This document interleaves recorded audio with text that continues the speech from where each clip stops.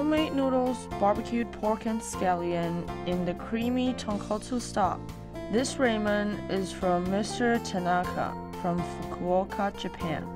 Hello, the hell ramen. Thank you. Seeing how much the customers expect the ramen makes Mr. Tanaka reaffirm it once again. He loves Taiwan. Taiwanese are nice to Japanese. Mr. Tanaka always says nice things about Taiwan, but the fact is, 12 years ago, he didn't come here voluntarily. With only 50 US dollars, Mr. Tanaka left home and stopped at the nearest country, Taiwan. At first, he worked at a salon for a month. The salary was less than 20,000. Life wasn't easy, but to him, the hardest thing is he could never find a real authentic ramen.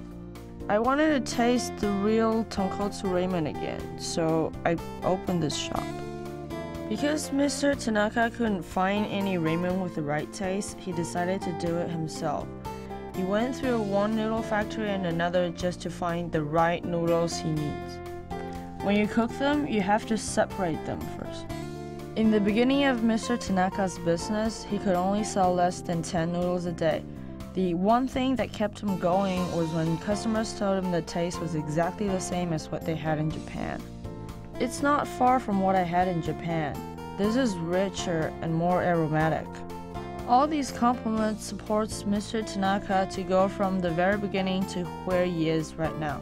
By bringing out the real Japanese flavor, Mr. Tanaka now has 8 branches. As of Taiwan, where Mr. Tanaka has been in 12 years, he said he already couldn't stay away from. Mr. Tanaka gave up being a stylist and jumped into cooking. The way of showing his love for Taiwan is to bring the best, authentic taste of Japanese cuisine into Taiwan.